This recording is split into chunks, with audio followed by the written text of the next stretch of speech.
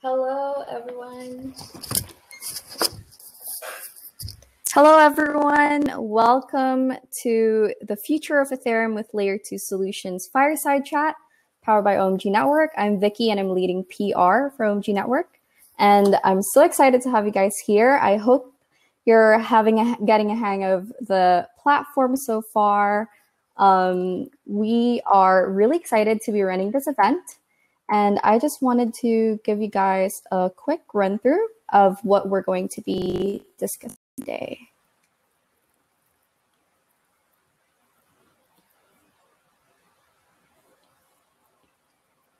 So today we're to be having Vansa, Stephen, and Kasima fireside chat, which is going to be a more relaxed um, type of session where we will be covering the following topics. We're going to start off with an introduction from Vansa, Stephen, and Kasima, and the fireside chat itself will be covering the current state of Ethereum, integrating in the OMG network, and basically what's next for us. So without further ado, may I request the speakers to turn on their cameras and their, their um, mics, please.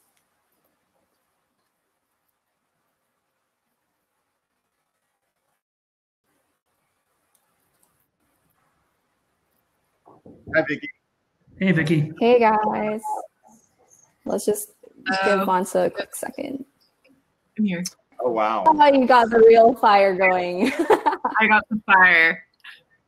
All right. oh, that's great. got that, Cool. So, I feel so I can also turn it off when it gets distracting because it's pretty pretty soothing actually.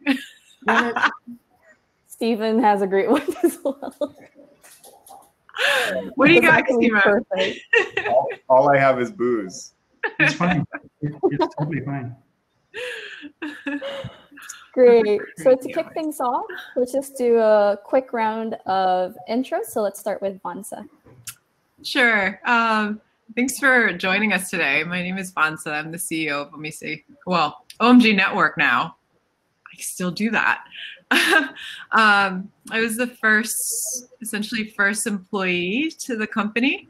Um, and prior to this, I was at the World Bank doing a lot of investments into public infrastructure.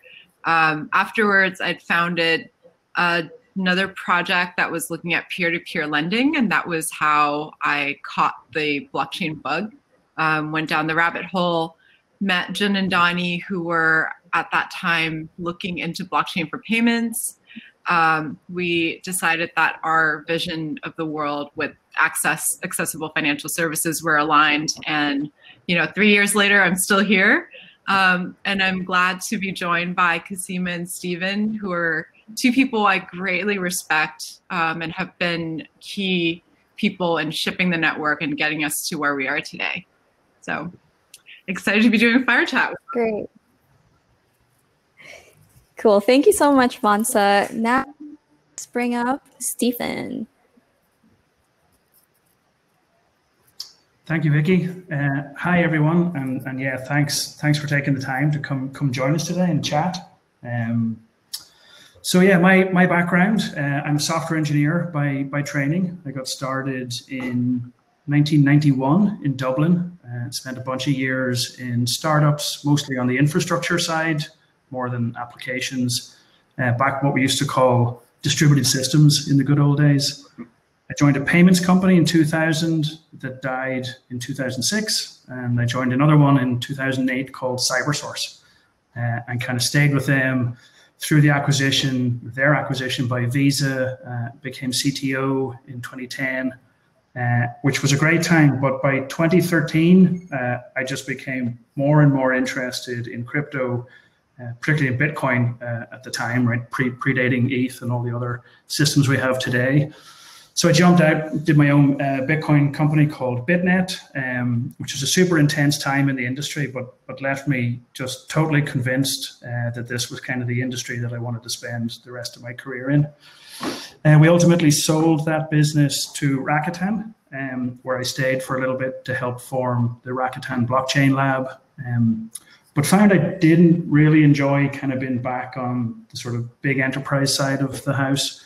Um, unfortunately, Jun asked uh, a mutual friend if he knew anyone with a background in traditional e-commerce and financial services, but also who knew crypto. And he said, "Well, I do." Um, so mid 2017, uh, I joined Omise, uh, and the rest, as they say, is, is history. So delighted to have spent the last three years with with Vansa, Kasima, and the rest of the team, um, and and help. Yeah, just just we'll, we'll, get into it, I think, in the chat, but just help build something of significance. Um, so yeah, that's me. Great, thank you so much, Stephen. And last but not the least, Kasima. Happy birthday. oh shit! I forgot it was your birthday. 100 years old right now. I think I, I, I the, the, first table I sat at, someone wished me happy birthday. So uh, thank you for the well wishes and uh, thank you for joining us. Um, yeah, I'm Kasima, CTO of OMG Network. Um, wow, do I get to go all the way back to like uh, my first job as a software engineer? I think I was doing uh, device drivers for uh, Unix systems uh, for for optical jukeboxes. That was that was when I started. That was when I started my life in about I think that was 2000.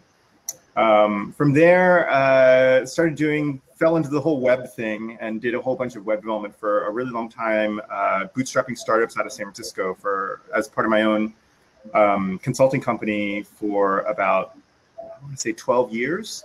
Um, somewhere in there, uh, got sucked into GitHub. Um, I think in 2000, I'm going to say 2000. 11 or 12, something along those lines. Um, and uh, headed up their payments team. Basically, nobody nobody was looking at the money. Uh, so uh, built that payments team because you know you're a startup and you're doing cool stuff. Who's you know who's looking at the money? And uh, from there, I uh, that's when I really fell. I had heard about Bitcoin, and that, but, but being there is when I was really convinced that uh, crypto was going to be a really important part of our financial future because uh, one of the biggest problems we had when we were at GitHub was that um, we had this global platform and we had this mission to globally reach developers. And one of the hardest things we had to do was to try to get them services in a way that you know get them on our plans that are, that were paid. Um, and and even though in the West credit card penetration is great, um, that's really just in the West. Credit card penetration is not good el- elsewhere, and it was part of our sort of our, our beliefs and our goals to make sure that this, this product was available to everyone. And actually, one of the one of the uh, a small backstory on what happened um, a few years ago when GitHub uh, opened up free private repositories for everyone. That was sort of like a result of that work of us saying to ourselves, like, how do we get people to pay for this? And uh, I actually implemented uh, Bitcoin payments uh, subscriptions in in in GitHub at some point. Um, but it, it, sort of died on the vine a little bit, trying to get that through the process. Um, but we asked ourselves, how do we get more people to pay for this? And at some point, we said, well, maybe we should just offer it for free. And so uh, that, that's sort of like a little bit of color there. But I, but after GitHub, I, I went to an education company, headed up the engineering team there, and and that was about 2017. and so that really was sort of like the the rabbit hole uh, of seeing uh, crypto kind of explode. Um, I think I, I, was I was following Vitalik, and and at some point I saw a tweet of him with the BOT, with the Bank of Thailand, um, at some meeting with with Johnny and Jun, and I was like, I don't know how he got there in Thailand, but I have to know who these people are, and I probably want to go work for them. Uh, and so I reached out to Donnie, and in 2018, and then uh, met Vansa, and uh, was was fortunate enough to to be brought onto the team, and it's been it's been a pretty wild ride. I'm going to say Kasima myself. I, I, was somewhat persistent about it, but uh, but yeah, it, has been an absolute pleasure to be working with with this team, um, both Stephen and Vansa, and actually the the entire team. It's been it's been super fun here. Yeah. And thank you for the birthday wishes. I appreciate it. Great. Thank you so much for that, Kasima. I guess now we could just jump into things. Yeah, I think the first question we have on our agenda is is uh, what are you what are you what are you two drinking? So I, I have a, a juicy and exotic IPA. Oh wow! from a little local local microbrewery just outside of Belfast. Um, the brewery's called Modest, if I remember rightly. That's pretty good. Cool. Nice. I have a glass of Chardonnay. You can kind of see it through my picture. Maybe Uh, not.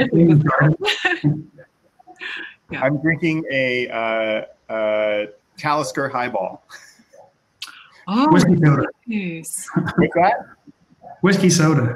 Yeah, it's a whiskey soda.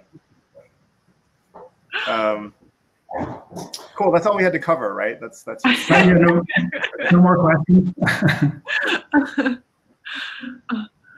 So it's been an Yeah. exciting week, huh? It's been an exciting Yeah, month. yeah.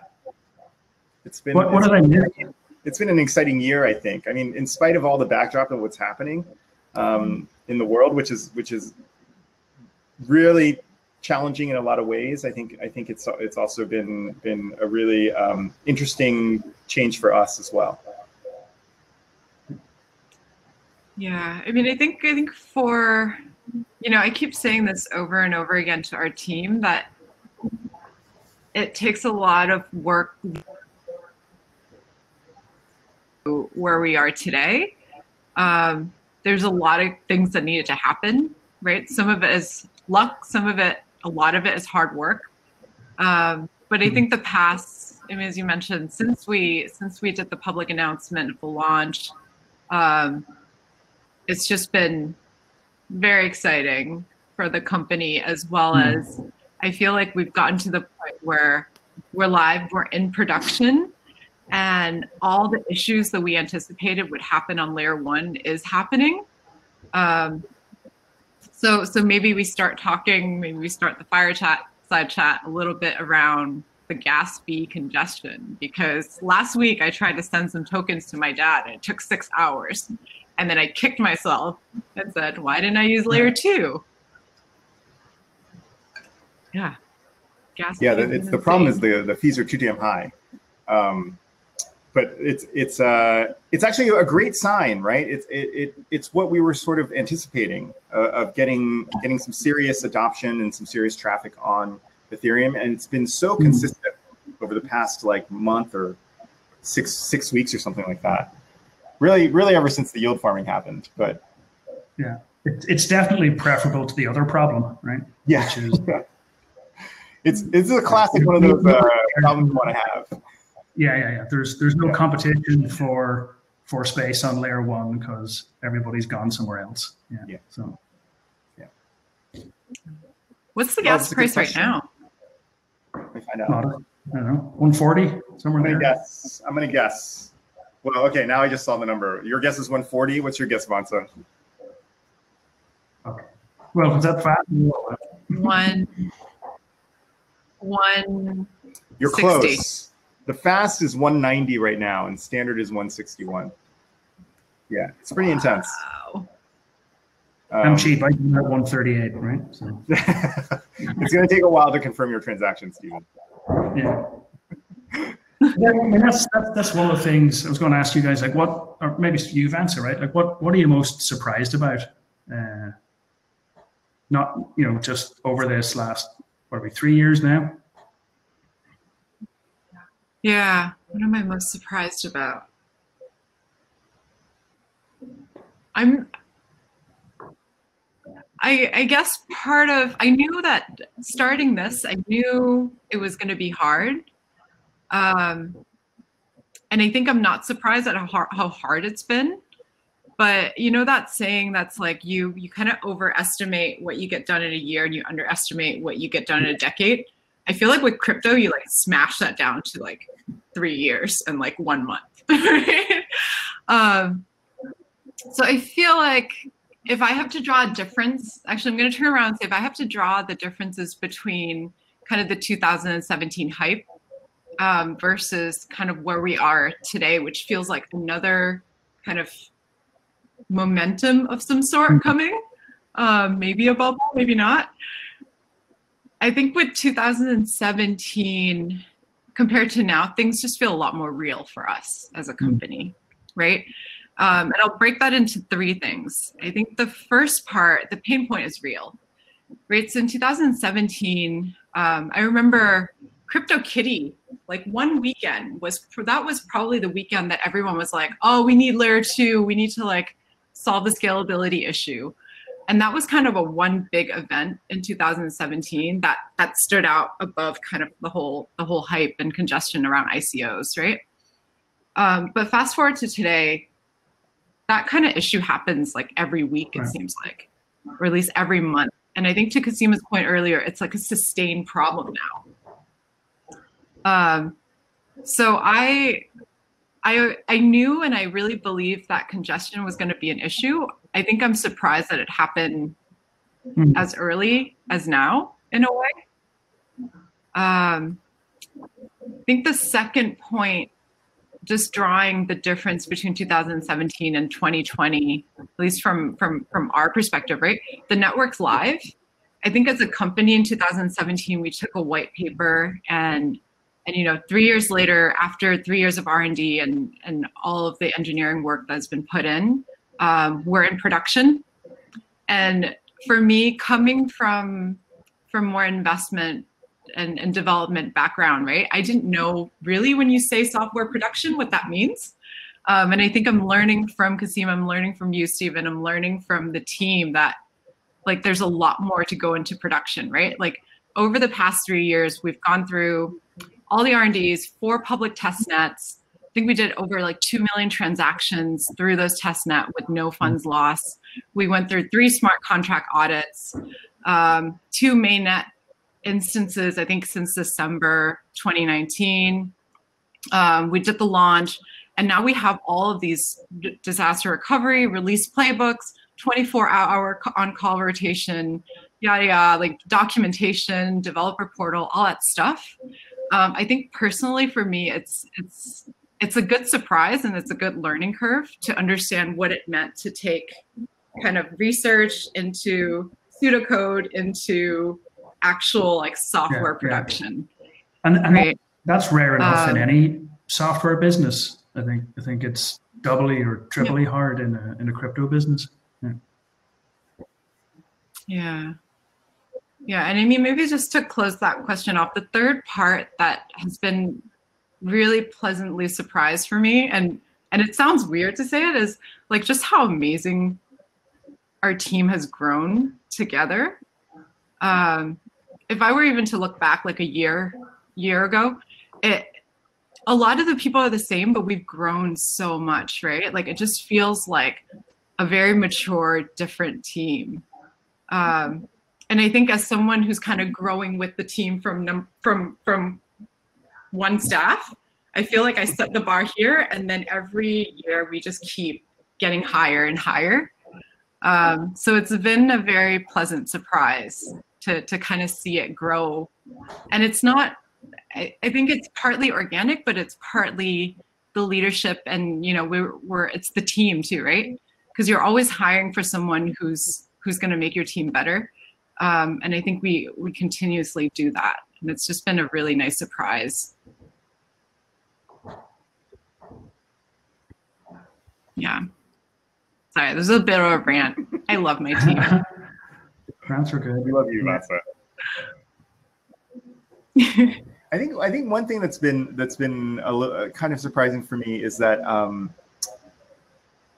and and it's not like I haven't seen you know products roll out and and and seen features go out and seen seen growth, but it's the things the things start sort of it's like the whole crypto thing. It's happened so quickly, right? It's it's like it feels so quiet and then suddenly it's it's the momentum really gets going.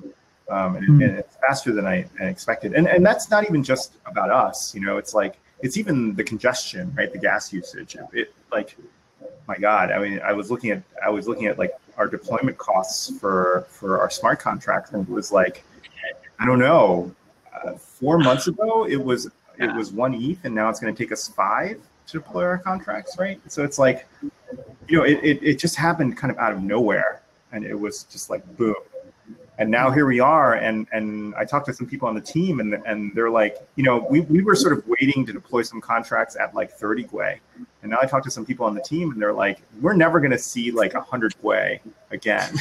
like, like that's like that's it." All right, we should call our finance team. we'll do the budget approval on this Yeah. call. If- don't listen to them. You'll be fine.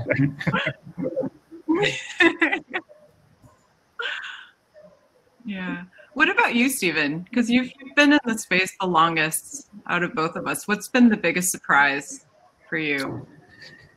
Um, I, I guess yeah. I think I think that it's both that it's taken so long uh, and that it's come so far. Right, seems a little sort of paradoxical. So so I've been at this for for seven years in in different formats, um, which which is long enough in in software terms, right? Uh, but but certainly in crypto, you you just seen a lot of shit, you know. And and it sort of seems like you're always banging your head against it. Like we did that. Um, AMA yesterday, right? And then after that, there was which which was great. Which in crypto world Yeah, seems like a year ago. All right.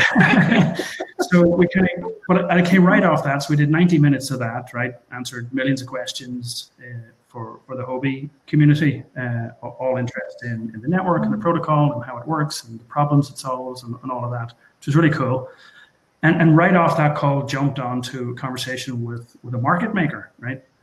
Because we're feeling a lot of in, interest from exchanges and market makers and people that want to, you know, because of the gas, because of the congestion, they want to get onto layer two. Uh, and this guy casually sort of drops that uh, they've got some relationships, you know, the different exchanges they work with, and the kind of big token issuers they're close to. Uh, and, and he mentioned Silvergate, which is a US based uh, bank that has been kind of supporting a lot of crypto companies uh, over the last the last few years.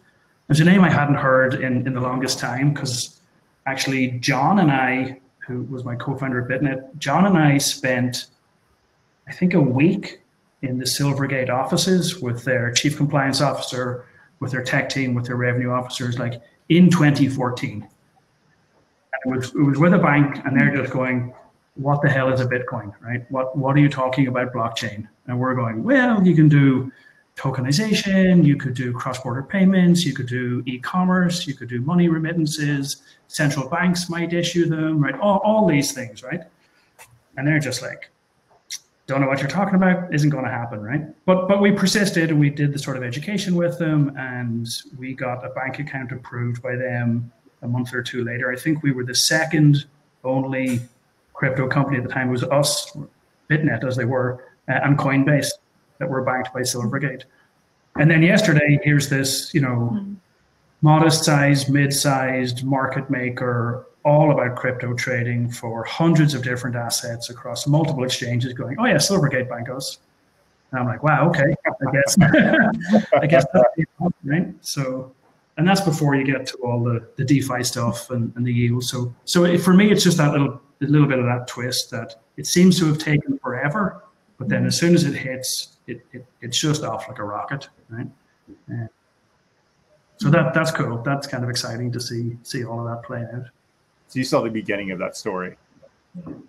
Yeah, yeah, yeah. For for a lot of those, and and like like many people in the industry at the time, like you were back when it was in the real world and you can fly and travel, right? You were you were going to conferences, you were meeting partners, you were doing that kind of early promotion and advocacy and sales, and it, it was still a little. It was interesting. It was it was less toxic, right? To just call it than it seems to be now. It was less polarized.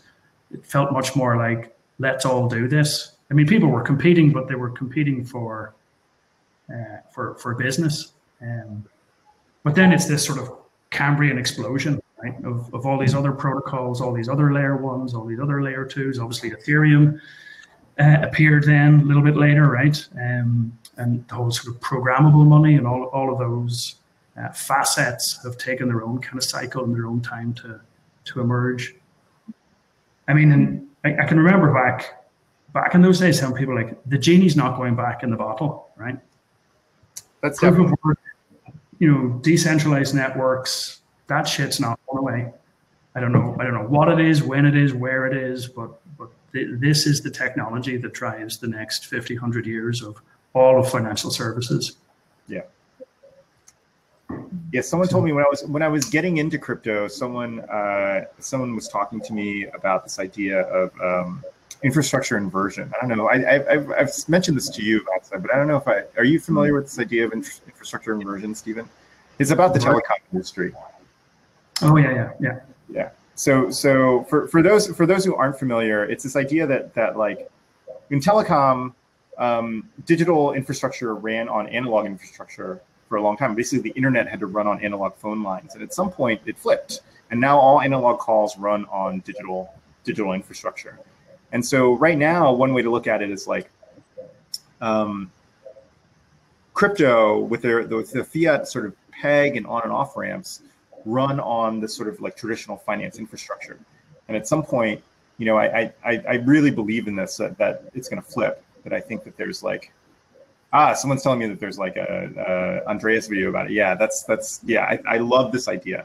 Um, that it's that it's going to flip out, and and and I think that that's true. It's going to be true for like ongoing, you know, and and that's totally like mm. the genie in the bottle kind of situation. Right.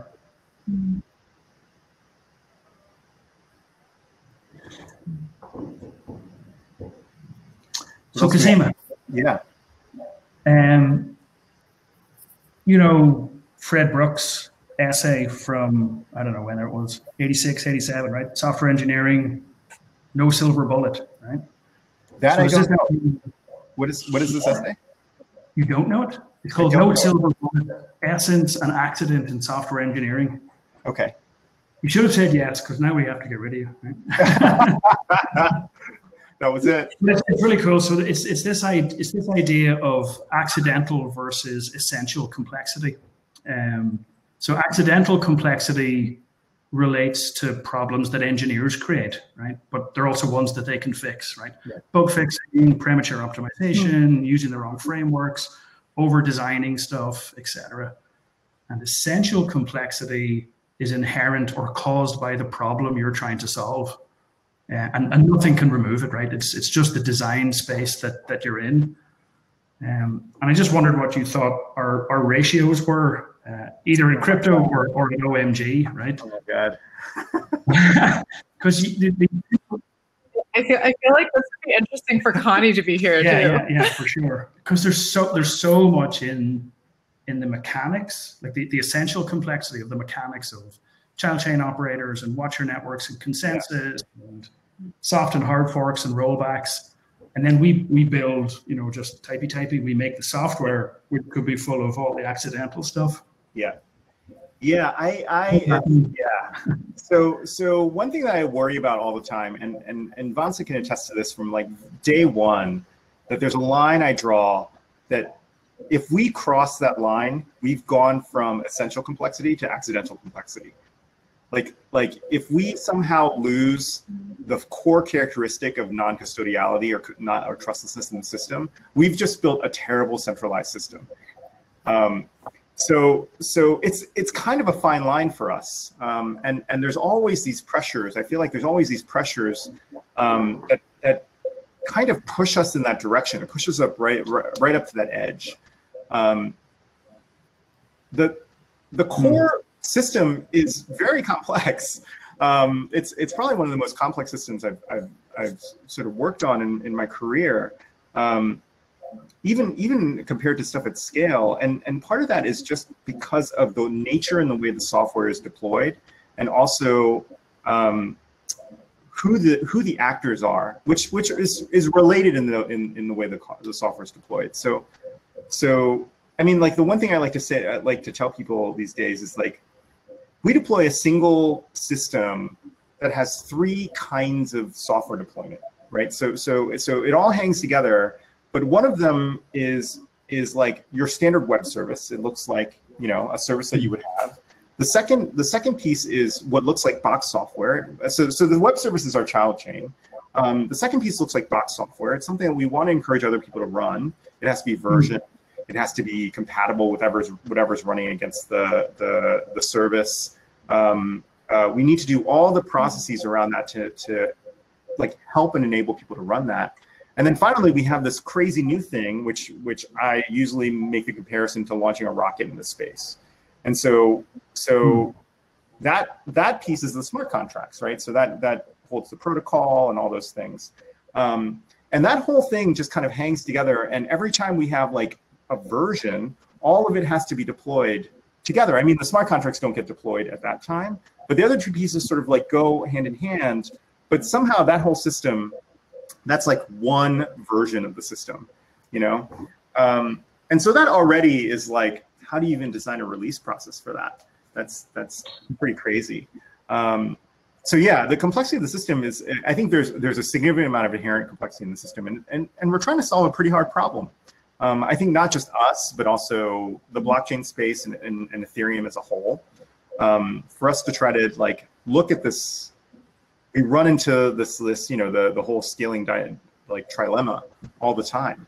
Um, and so all the pressures move things around, but, but the thing that I fear the most in that is that like at some point we cross a line it becomes um, somehow less trustless, or, or we get to a place where when you look at it again from another angle, this is the worst way to build the system.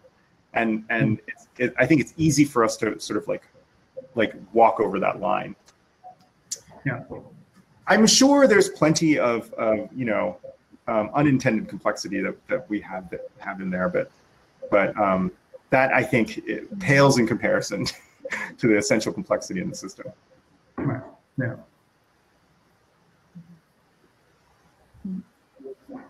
I want to maybe we switch gears a little bit. I'm getting a little nudge from our marketing team to say, let's talk about some integrations. um, when integration? What if I if I can throw that to you, Stephen and Kasima, because you guys were closer to the the integration process itself. Um, what were you surprised about through the end-to-end process, having Bitfinex as you know one of the bigger first integrations on the network, right? What part of that process surprised you, and what part of that process was fun? Or none of no, it? it was it, it was it was fun. I think. Yeah, yeah, yeah. I think I think both the business development side, which, which you were very close to, Vansa, right? So so that that was fun. That was actually when when it came down to it, very straightforward, right? Um, which, which speaks a lot to, uh, I, I, guess you know timing, luck, but but but really product market fit. So and and this was when it was it was only the bad old days of 100 or 150 gas, right? We, we hadn't got to 300 yet, but but just presenting that idea that congestion is a problem you know, finality is a problem in terms of you know, whether it's going to take you know one block or you know 40 minutes to you to get into your next block. All of that, when when it just clicks and it suddenly makes sense, when when when your message kind of makes sense to the customer, and they're like, oh, "Fuck yeah, we really should do this." Um, then it all kind of fell away. Then then it was about when and how and what order and who do we need to connect to get it done. So it it, it wasn't really in any way a super hard sell um, but but again, I think that's a lot about timing and presenting it and framing it in the right way. And fact that we were live and to everything Seema just said about, you know, we could be really clear about the trustlessness. It's non-custodial, so they weren't going to, you know, user funds are never at risk by connecting to layer two. And then the market kind of pushed it towards them. Just, you know, it, I guess in in sort of economics, is that is that idea of a rational actor, right? So if if you could have, like, forget us, just conceptualize, if you could have the same security guarantees as the system you're using today with no change in your controls or privacy, but it's just faster and cheaper. Why would you not use it? And then they're like, yeah, we really should just use it, right? and, we're not we're not shilling a token specifically for that. It's like we're here for ETH and any ERC20, right? It's it's open to all. From the very start, we've been we sort of see ourselves as a utility as a public good, as a, as a piece of kind of infrastructure that, that the broader financial systems need.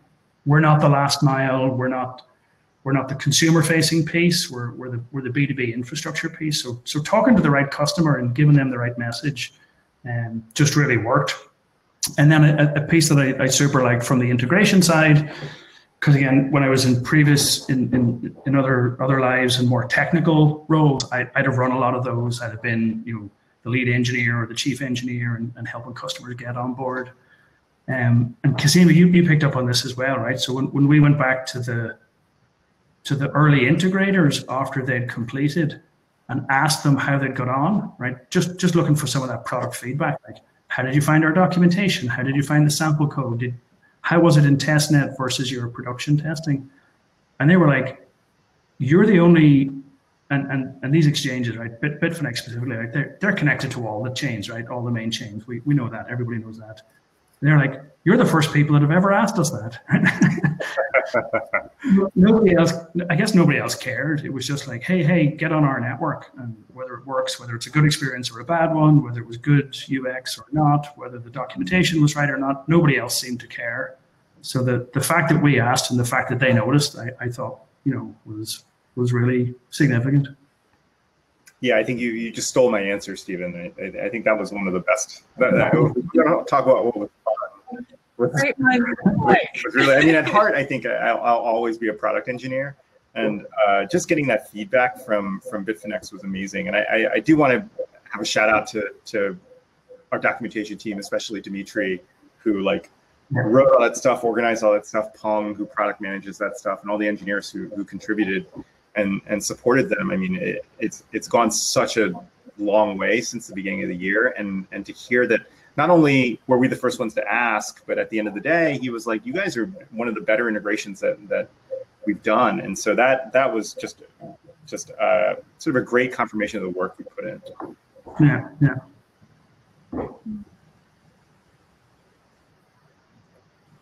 So, so are we supposed to? Are is uh, are people nudging us to go through this this uh, this uh, agenda here? So, what does it mean, really? Okay. I think she's got the next one, right? Oh, she yeah, she did. She did do the next one. Oh, Vicky, you're always a step ahead of me. Not fair. So, you what does it mean? Uh, uh, I think I think what what's great is that like okay, so all this great stuff is happening you know, on Ethereum right now, and it's very exciting. And I and, and I, I, I do watch it all the time, and it's it's it's pretty fun. Um, but it doesn't have enough room to run. And so, like for us to be able to pull some some of that transaction volume off for things that people are that for for a thing that's pretty well known, which is just value transfer, right? I think that's sort of essential to any kind of financial network. Um, for us to be able to pull that that uh, uh, transaction volume off the main chain means that more of this very exciting, very experimental um, financial this financial DeFi thing to happen. And so I think that that is that is pretty awesome from my perspective. I, I think that's that's really cool. Yeah, yeah. I think we always talk about how how you know we want to be kind of the the boring dumb pipe But people kind of underestimate how important that is, right? Because if you look at, as you said, the basis of any financial services, the first thing you need to be able to do is transfer. You can't do that well. You, you can't do you can't really build anything else on top of it. Um, yeah. Yeah, I, I, I sort of think about. Uh, there are times I think about like CDNs, right? And like and like what an essential role that CDNs play in in our like global internet infrastructure.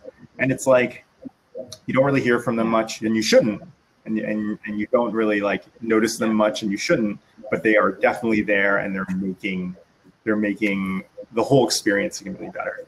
And I think that that's the kind of thing. That's the kind of that's the kind of role we can play. And I think that that not only like that that really supports the community. Yeah, you shouldn't see the infrastructure right? Yeah. You should see the services that run over it. Um, yeah. So, so what does it all? It says here. What does it? What does it all mean, really? Right? About the integration.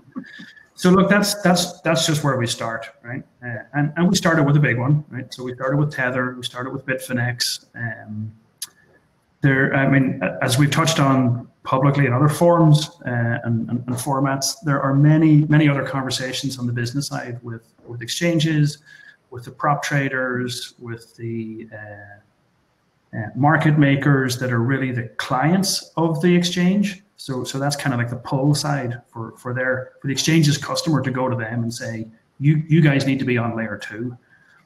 it's a little it's a little bit of a fine art because because we're kind of neutral on the exchanges. Like we we want them all to be on layer two, um, but we do, we do have to say to to an exchange we have to go to exchange A and say you should really integrate to our network so your customers can move value to one of your competitors, right?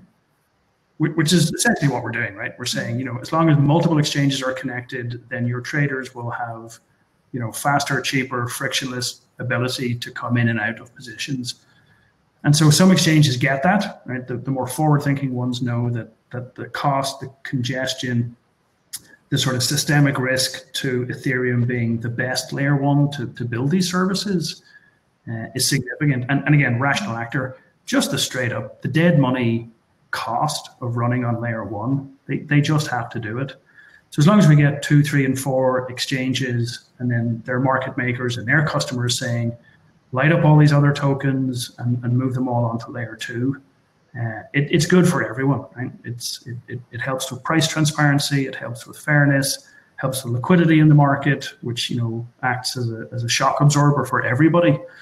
And and to Kasima's point, frees up layer one to do some of the more esoteric or experimental stuff or, or things that that are things that really are predicated on having smart contract execution to, to support their operation. And we just make room for that. Yeah. Yeah, I have to give Paolo credit, um, the, the CTO of Tether. Um, in our first conversations with him, he totally got it, which was which was awesome. You know, he he took it upon himself to say that like it was his responsibility to provide his customers with optionality when the next Black Thursday happens, right? Um, and I think I think he, my sense from talking to him is that he saw that sort of as a as a rallying cry um, for himself. That that was like we need to give we need to give people the tools to to be able to keep the markets liquid um, during another like mass period of volatility. And mm. and you know, Black Thursday was such an intense event for so many of the DeFi projects, right? And so it and and it, it sort of bubbled all the way down to well, I don't know if that that's the right direction, but it but it definitely bubbled through the entire ecosystem where you had all these islands of price. Um, and so if if the, the you know the arbitrage is actually really good for for maintaining price and, and and keeping equilibrium in the whole system. And and when that couldn't happen, I think things got sort of out of whack, and we saw all kinds of weird, very dangerous sort of systemic things propagate through the system. Um, mm. So so yeah, I think I think having having more of these things pull transaction, having more layer twos, not even necessarily just us, but like options on on BTC, options on on other other chains, like like being able to to provide transaction space bandwidth in the system helps everyone. Yep. Rising lifts all boats, right? Stephen yeah. says this a lot. Yeah, yeah. But only if you're in the water, right? yeah, you definitely got to be in the water. Yeah. If you're, if you're up and down, can't, can't really watch that from shore.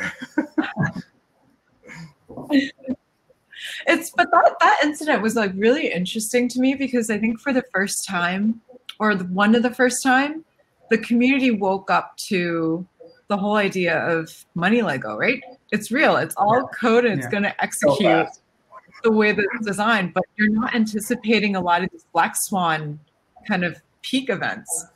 Um, so to me, it just points out that that there's a lot of work in the infrastructure and the fundamentals yeah. that we still have to do to, to make yeah. this world work. And, and, there are plenty of people out there who, who we're talking to who who see that, and, and we're excited to talk to them and, and try to push that forward.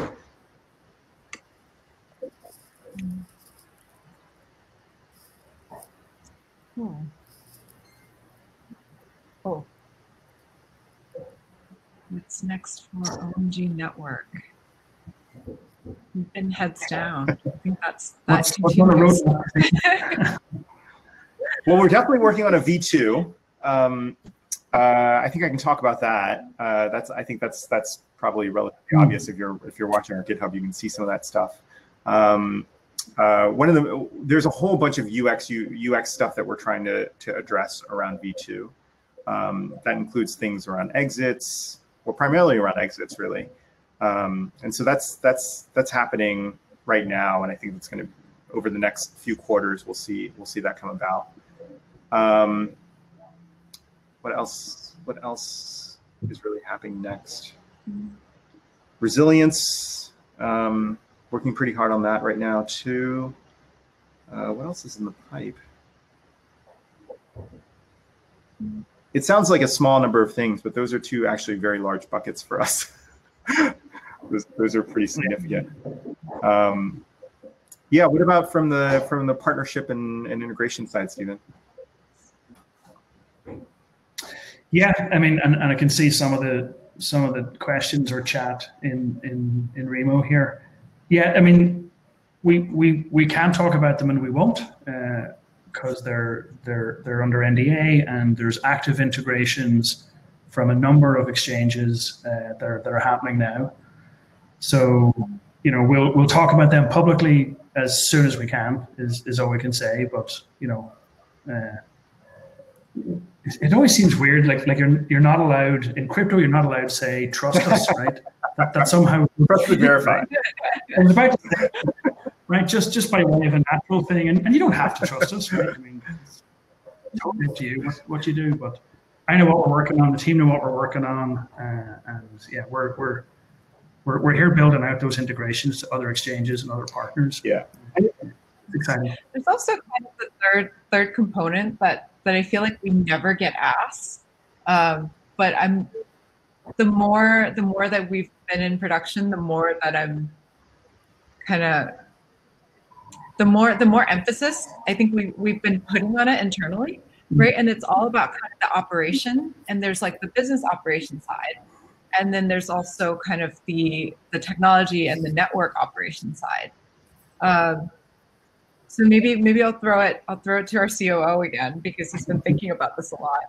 Uh, what kind of what what what kind of big business operation buckets do you think would take us to the next stage of kind of layer two service maturity, right? We talk a lot about kind of the traditional BCP, all that stuff. Um, I feel like these are all kind of like best practice that yeah. that a company needs to do and, and we don't hear a lot about in crypto.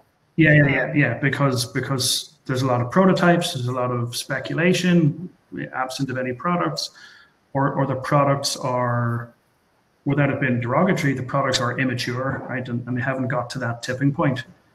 And and you know we're not we're not there. We're, we're this is this is the start of the game not not the end of it right? Uh, for us so, so having having built and run some of those large scale production from a traditional finance space, from the e-commerce world, uh, it's about service availability, it's about uptime, it's about the 24/7 mechanics, it's about the release train, about dealing with with customer requests, bug fixes, as well as product features, and just weaving all of that together.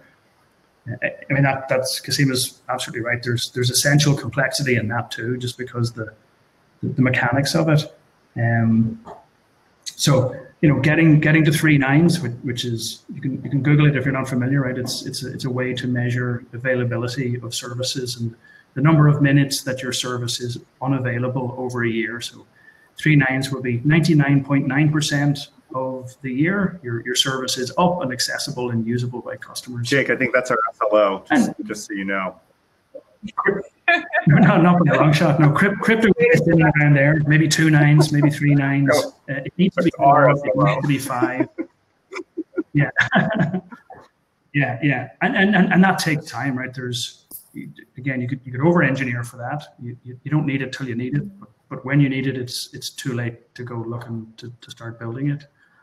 Um, so maturing all of the processes, getting the customers on board, driving that growth and that capacity um, just normalizing because again, just been here long enough that you, there's a lot of crypto projects kind of come and go. They live for a bit, um, and, and they never really get to be sustained to be kind of long-term uh, businesses. And, and, and our mission is to build that. It's, it's to be long-lasting financial infrastructure that kind of glues all this stuff together. So that that's got to be always on, right? It's, it's like you turn on the tap and water comes out. It, it just has to work, which is cool. I mean, they're they're seriously hard problems, right? But that's that's why we have Kasima and the rest of the team, right? And, and and, and everyone kind of building that. Yeah, and they're and they're not technical problems. That's the that's the thing. I think that that that um, mm. I try I try to convey as much as I can that that production ready is not just about having you know audited code and it's really well documented and maintainable and we have release processes. It's it's it's organizational processes that bring us to production readiness. Right. Yeah, yeah. achieving layer two security. Yeah. Per- permissionless innovation is not not an excuse to not be responsible yeah. for yeah. the businesses that are connected yeah, yeah, yeah. right? Particularly start securing ones, tens, hundreds, and then you know hundreds of millions of dollars. Those those are totally orthogonal, for sure. Yeah.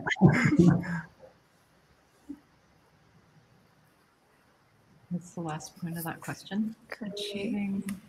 Yep, and that's pretty much the end of our fireside chat. That's it. Thank you so much.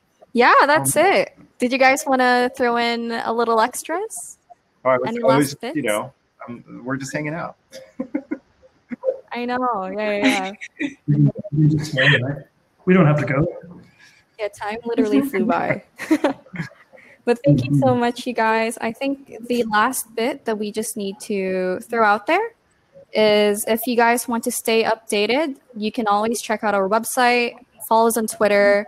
Uh, we've got a Telegram group as well where we update. Um, if you want to follow uh, what Kasima and the team is working on, there's a GitHub that you can jump into and check out. And we also have our Reddit subreddit um, feel free to join. We do have the CPE if you haven't heard about that. It's our community points engine. Um, definitely check it out if you haven't yet. And next week, we're going to have another event, which is with CurveGrid. It will be a webinar um, next Friday. It's going to be 5 to 7 p.m. Bangkok time, 7 to 9 p.m. if you're in Tokyo. Uh, it's all about the supply side of the community points that I just mentioned. So do make sure to sign up for that. We also have limited seats. And that hmm. basically wraps up this event. Thank you so much, everyone, for joining. I know that everyone had a couple of questions in mind. Uh, we did take note of that, and we'll see if we can come out with uh, content for you. Um, but yeah, this is where it ends. Thank you so much. Thank you, guys. Thanks for putting it together, Vicky. Thanks, guys. Thanks to the whole marketing team. Thanks for joining us, everyone. Bye.